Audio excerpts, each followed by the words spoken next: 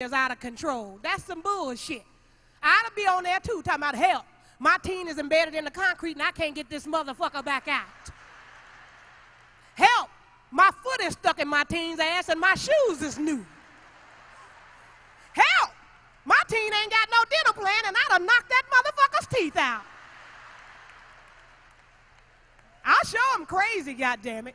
Seen this lady on Sally Jessy Raphael. I swear, true story. This bitch on there crying because her 13-year-old son wouldn't wear nothing but Tommy Hilfiger clothing.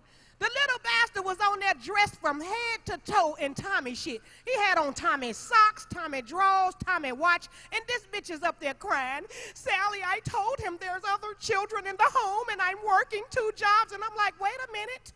This is some bullshit. Was me, I'd be up there explaining the same problem. Sally, my team won't wear nothing less than Tommy Hilfiger. I'd be up there explaining the situation. My little son be sitting up there butt fucking naked on national TV. Wondering why. I say, call Tommy, he'll figure it out for your little punk ass. Do that. Little crazy bastard. Quit eating them goddamn noodles. That's what you do.